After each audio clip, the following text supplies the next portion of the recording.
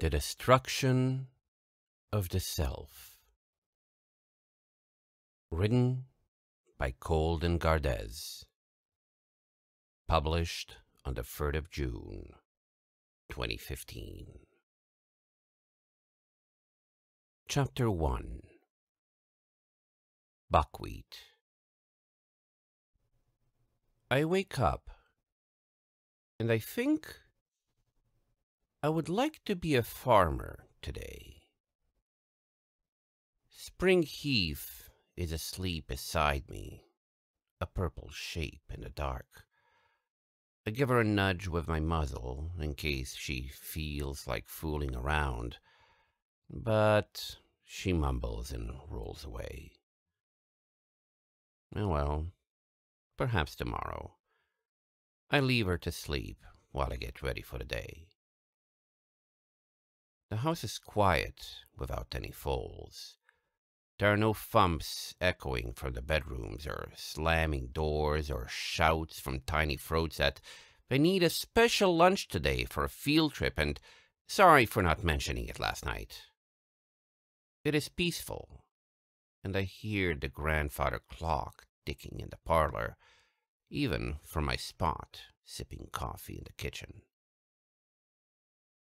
Spring Heath descends the stairs, her coat and mane still matted from sleep.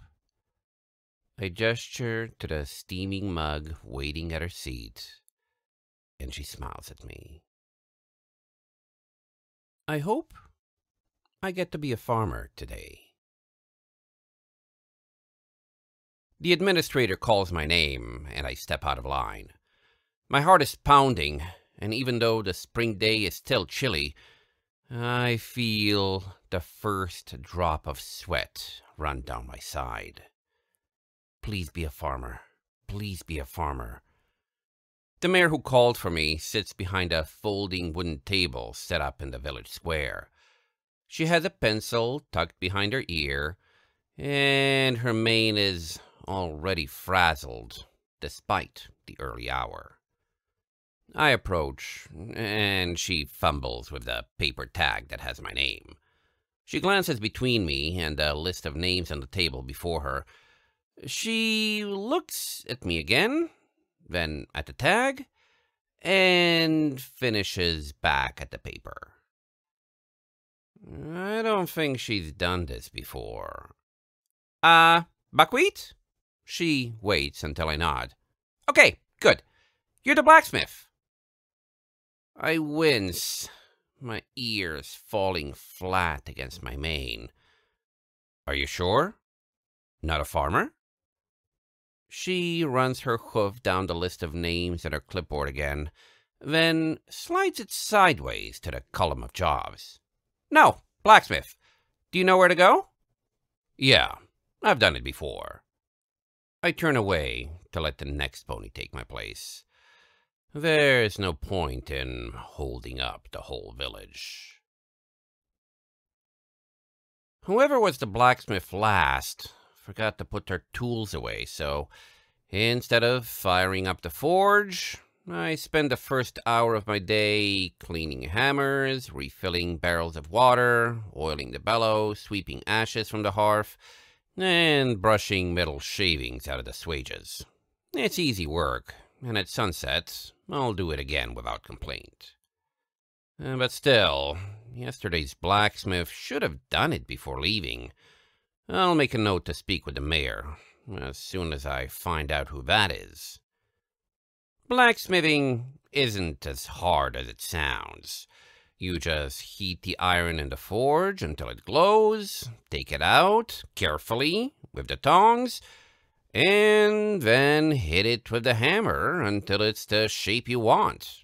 I like to think I've gotten better at it over the years.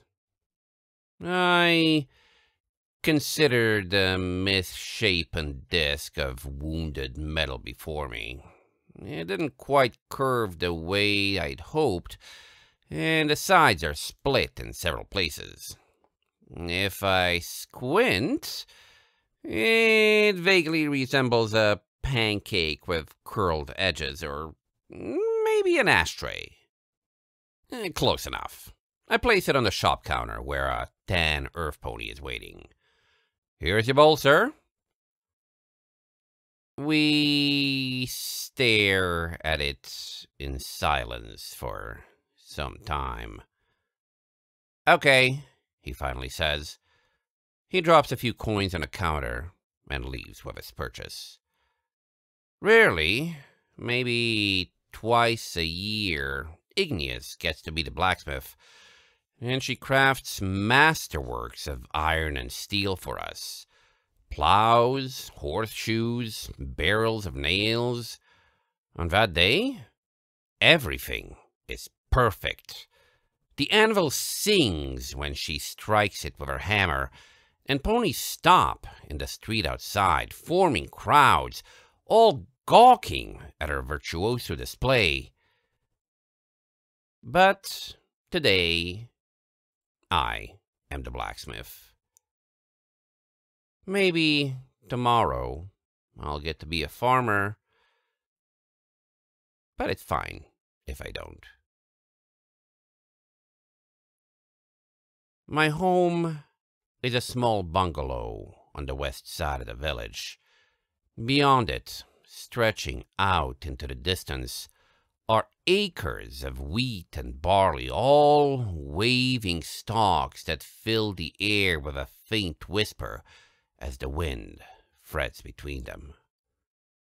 I stop, and for a moment I feel like captain of a ship watching the ocean sway before me.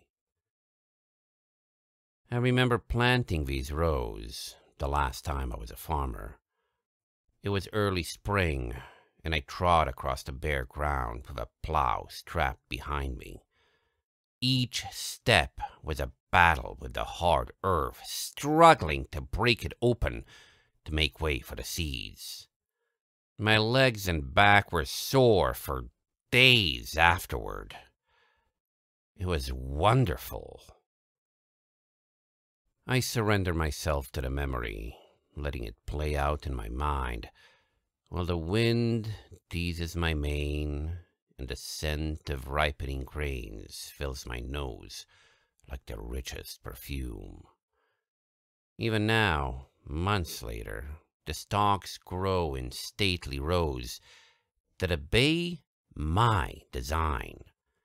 The bumble-hoofed efforts of hundreds of other villages cannot erase the traces of my talent.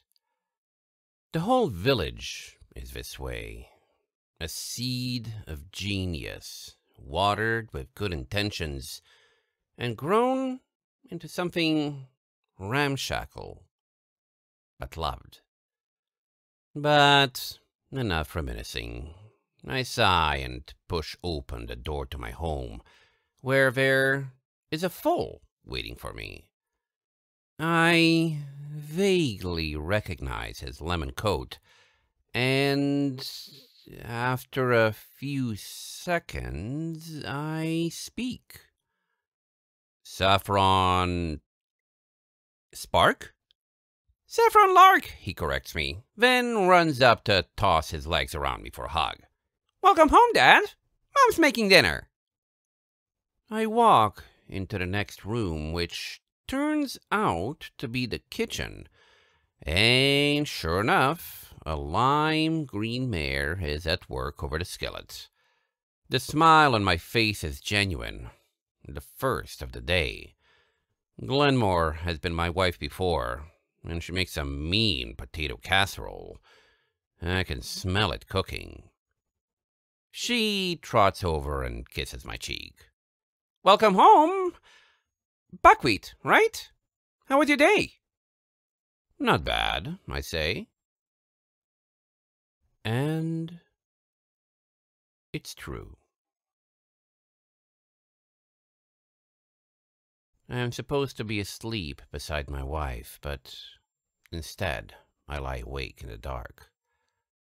This happens sometimes. I can see dimly the square shape of a picture frame standing sentinel on the nightstand beside our bed. Tomorrow, when I am assigned a new home, it is the only object I will take with me, and I will set it on the nightstand beside my new bed. I will fall asleep staring at it.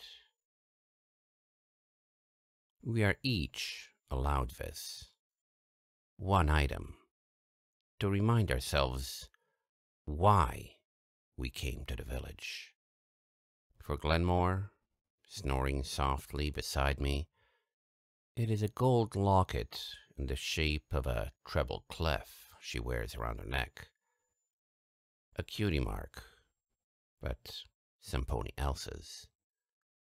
Sometimes, when she thinks I'm not looking, she touches it with her hoof.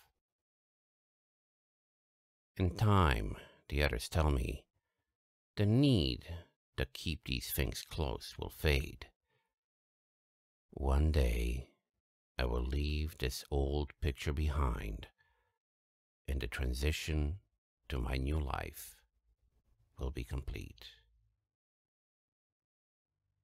Outside, a cloud that has occluded the moon completes its slow passage across the sky, and the silvery light shines through our bedroom window, casting pale shadows on our bedspread.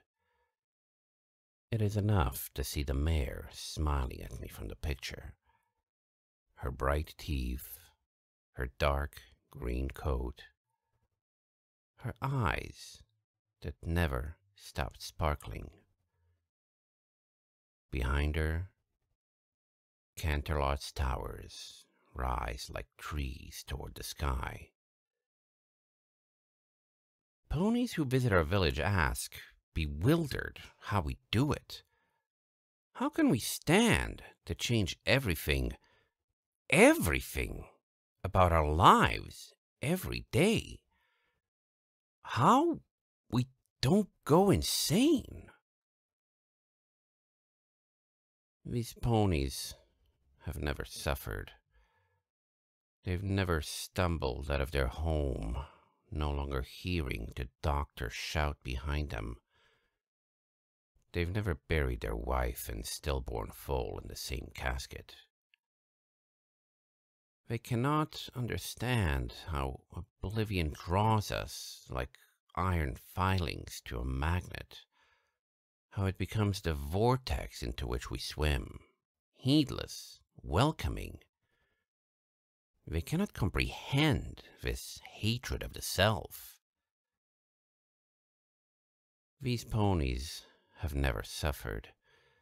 Maybe, if they did, they would understand the solace we find here, where every pony can be any other, where I will never lose my wife or my child or my home or my friends, because no matter what happens, there will always be another to take their place, where I need be nothing more than the drop of rain that vanishes in the river, flowing with the current into the whirlpool's maw, indistinguishable from all the other drops around me.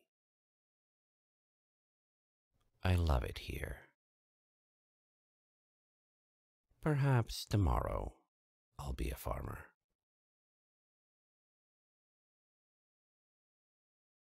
Spring Heath. I am back in Philadelphia and Quatrefoil is alive. And that is impossible. We're breakfasting at our favorite cafe, the small French one with no interior seating and only a few old iron tables crammed together on the patio. It must have just rained, for the sidewalk around us is dark and wet, even though the sky is clear and the morning sun is peeking over the graceful brownstones that line the city streets. The morning rush is past, and the streets are full of shoppers and tourists, ambling from storefront to storefront, filling the air with their chatter. It must be a school day, for there are no foals running between parents' legs, or stamping in the puddles, or shouting at the birds. Listen, Quatrefoil says. His horn glows as he sets his coffee back down on the saucer. I know I said I wanted to wait, but I've been thinking, and... A gentle nudge on the shoulder wakes me from the dream. For a confused moment, I cannot remember where I am, or what day it is, or why I'm in bed with a strange smelling stallion running his muzzle through my mane. Memories blend together in the darkness and I freeze, staring at the rough wood wall, trying to recover my sense of self. It comes back with the abruptness of a ship crashing against a reef. The years long journey that led me to this place, to a strange bed and a strange house, to a strange stallion curled up behind me, our bodies tangled together, barely visible in the dim pre-dawn light peeking in from under the shades. The stallion makes a quiet, hopeful sound, and finally I am anchored in the present. Buckwheat. That's his name. Buckwheat, who wants to be a farmer, slides his hoof down my flank to my cutie mark, and for a moment, I'm tempted. He is a nice stallion, and last night he was a very nice stallion. But right now, the pall of the dream is still a weight on my mind, and I want nothing more to sleep for a few more minutes. He takes the hint. I feel him climb out of bed, and slumber takes me once again. Twenty some minutes later, I am still tired, but my bladder has decided it wants me to be awake. I take a final deep draw of buckwheat scent from the sheets, then stumble out of bed and into the adjoining bathroom for my morning ablutions. The rich aroma of fresh coffee has permeated the house by the time I am done, and I follow my nose down the stairs in search of its source. Buckwheat is seated at the table, sipping from a chipped mug, and as we make eye contact, he motions across the table, where the chair is already pulled out. Another mug waits there, chipped and green and worn, but even in the dim light, I can see the steam rising from it. I give him the warmest smile I can manage before noon and settle into the seat, holding the mug in both hooves, letting its warmth seep into my bones. The coffee is dark and bitter and delicious, and for several minutes, the only sound is the faint tick tock of a clock somewhere in the house. I could learn to like this, I think.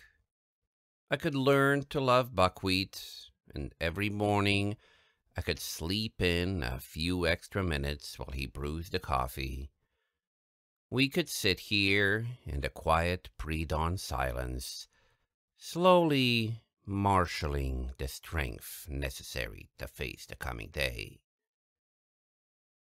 What would Buckwheat say if I confessed to this silly fantasy? Would he laugh it off as a joke? I am halfway to finding the courage to speak when he sets his empty mug down on the table. He stands and places a light kiss on my cheek, then turns toward the door. Ten minutes until assembly, he says. I'll see you there. Maybe. Yeah, maybe, I reply. It is our answer to everything in this village. Maybe. Maybe I'll meet you for dinner. Maybe I love you. Maybe I'll see you again. It's a safe word, one that cannot bind ponies together. It is the ultimate expression of the purgatory in which we exist. I finish my coffee, wash out our mugs, and walk out the door after my once and future husband.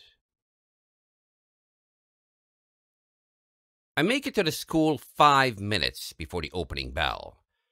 Reddish Leaf meets me at the entrance with a stack of binders. Her mane is a bit frazzled, and his glasses cling precariously to his muzzle, ready to drop the next time he jerks his head too quickly. Morning, Spring Heath, he greets me warmly, despite the apparent stress of his new job.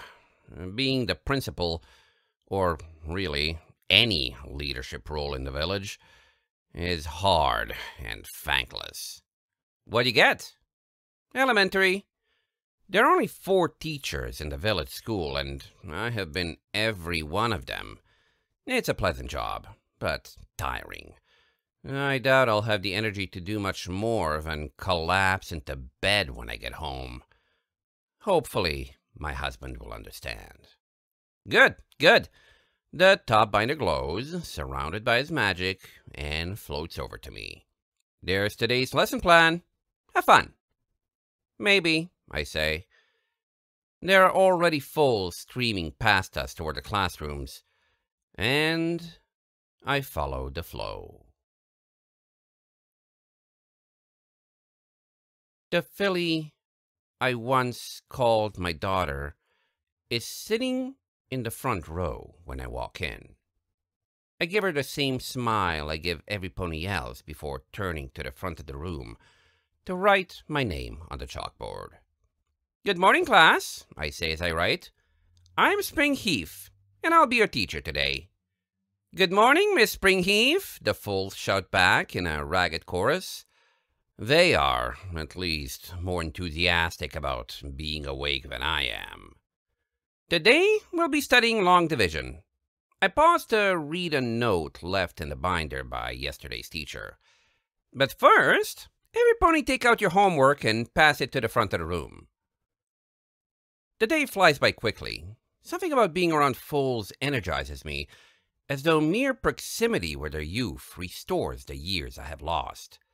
I find myself smiling without meaning and laughing when they laugh.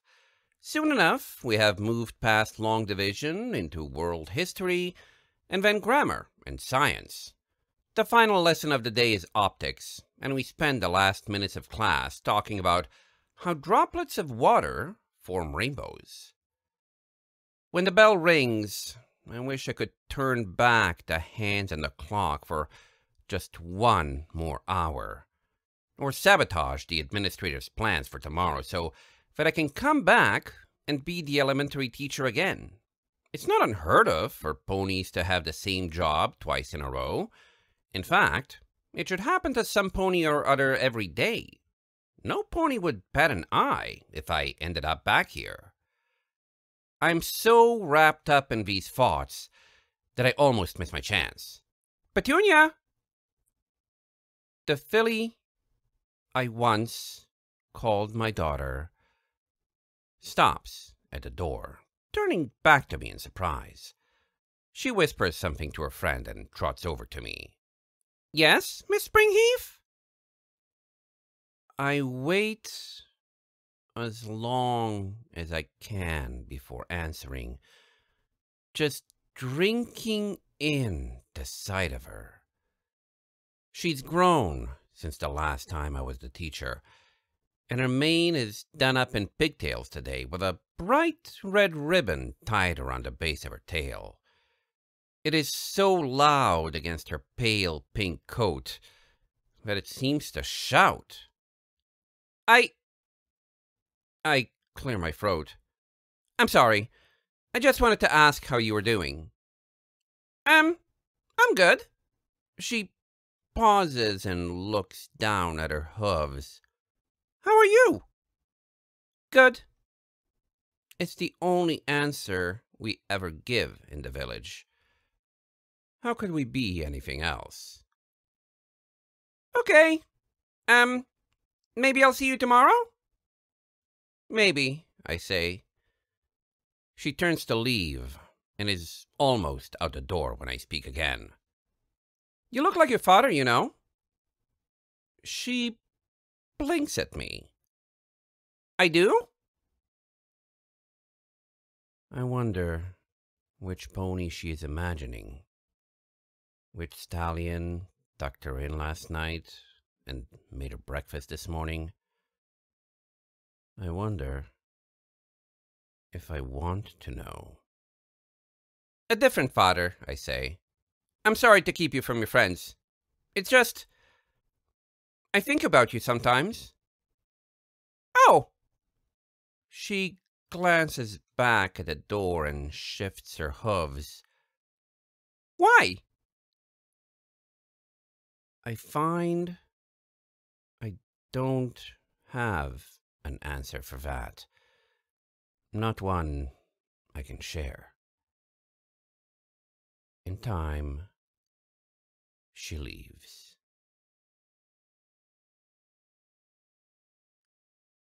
There's no pony waiting when I get home. According to the small note taped to the door, I'm single tonight. No husband, no foals. It's nice not to have to cook a family dinner or entertain a strange stallion whose interests may not align with mine. Sometimes I wish I could be single more often, but then I remember the understated, silent pleasure of waking up next to some pony, simmering in their body heat, letting the hours drift by to the sound of their heart. I wonder as I turn out the lights and crawl under the covers, which house Petunia is in. I wonder if Buckwheat is tucking her in right now. I wonder who her mother is. They say that after a few years in the village, we'll forget our old lives We'll leave behind the trinket we brought with us, the single anchor that binds us to the past. We will set it aside the way a moth leaves behind its cocoon. We will join the gray, indivisible ranks that stretch out into the mists. It has been seven years since I arrived here on a cruel April night with a squalling foal strapped to my back. It has been four years since I abandoned my trinket, my anchor, my petunia. I should be past these memories. But instead, I imagine Quatrefoil is with me, his arms wrap around me, and together we slip gently into dreams and the night.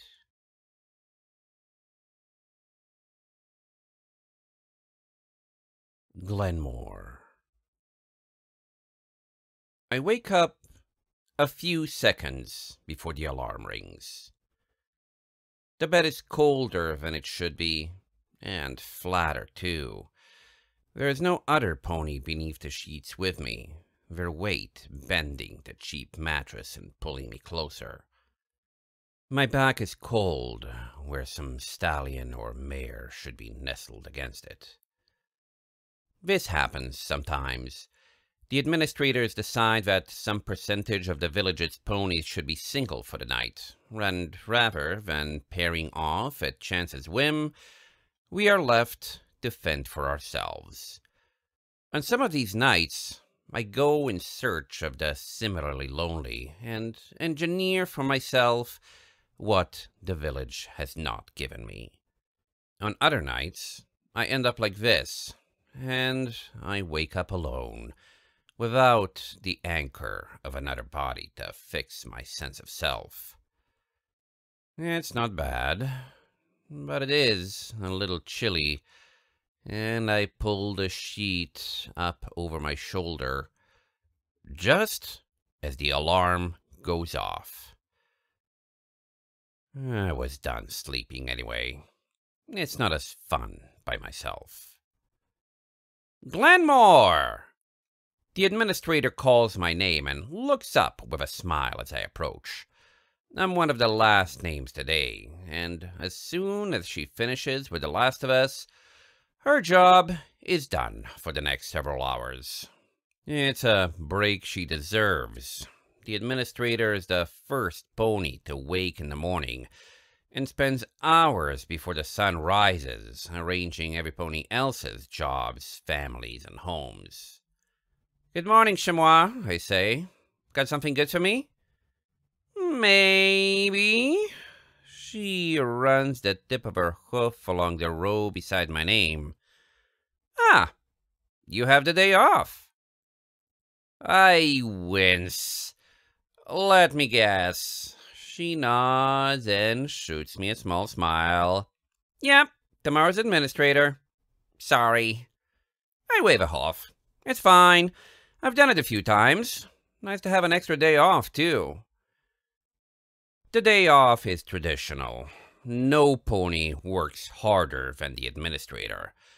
The hundreds of ponies who live in the village all try their best to make this brave little community work, but problems invariably crop up. Some the mayor can deal with, but anything regarding a future assignment is up to the administrator and her dice. She is the only pony in the village who can change who we are or what we do. She holds everyone's lives in her hoof. Enjoy it while you can. Chamois brushes a stray strand of mane away from her face. I think I'm going to go home and collapse for a few hours. First time, you know? You did fine, and the afternoon is pretty easy. After lunch, Chamois will go around the village, passing out addresses for the evening. The administrator never tells ponies who their new mate is. They have to discover that for themselves when they walk in the door. Glad to hear that.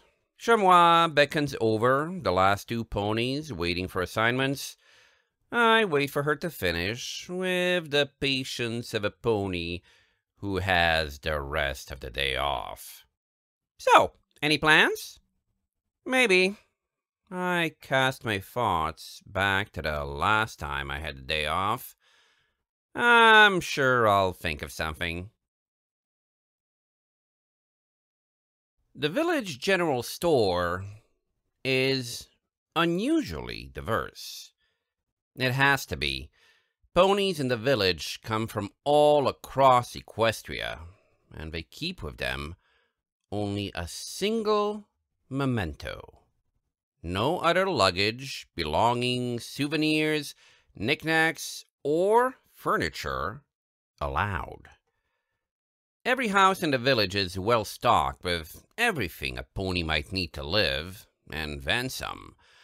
Belongings accumulate in them, artwork, clothing, specialized cooking implements, left behind each morning as their owners depart.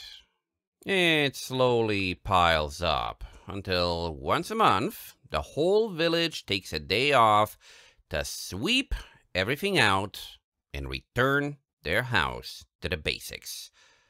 Even the foals help, though they alone in the village stay in the same home every day.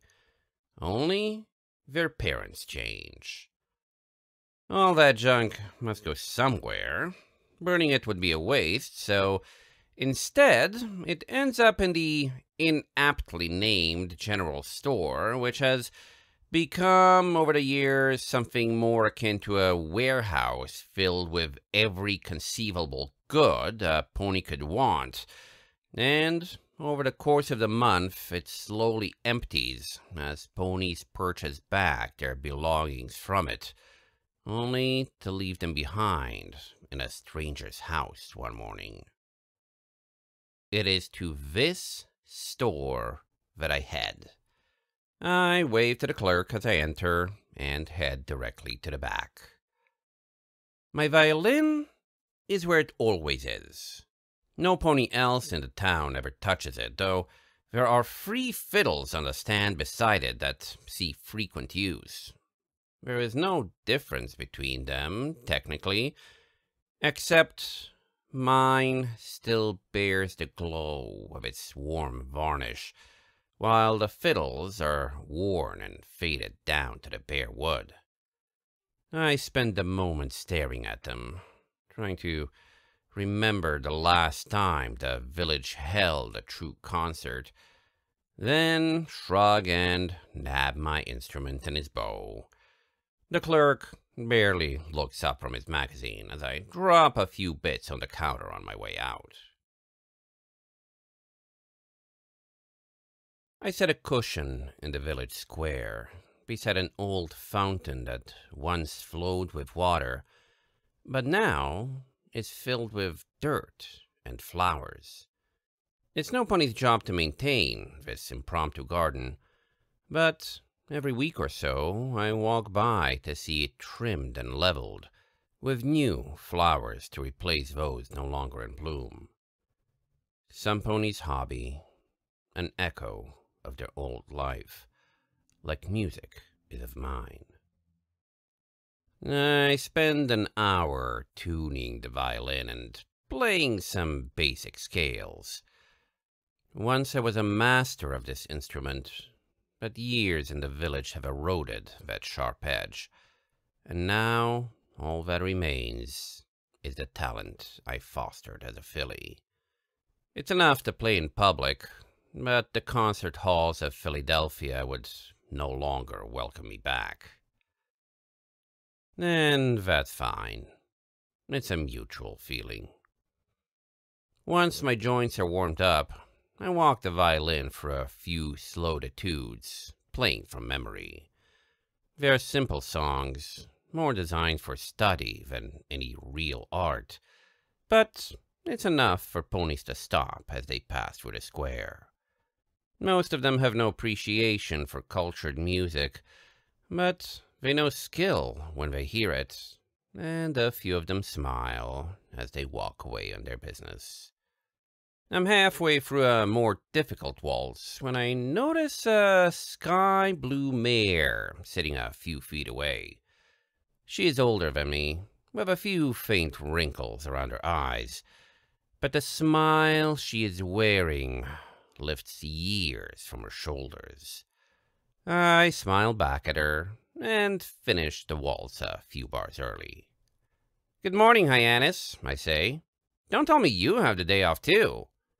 Bank teller, she says. But it's lunchtime, in case you hadn't noticed. I glance around the square, surprised at the number of ponies. More than a few have camped out along the edge of the fountain with their packed lunches, enjoying the warm spring air and the impromptu concert I've been providing. The sun has advanced overhead, and noon snuck up while I wasn't looking.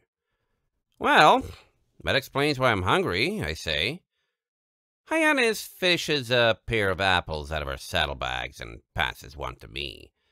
We crunch on them quietly, never minding the juice that runs down our chins. Even unicorns like Hyannis learn to stop caring about silly little things like that after a few years living around so many earth ponies. So, she finally says, any luck? I shake my head. Not yet.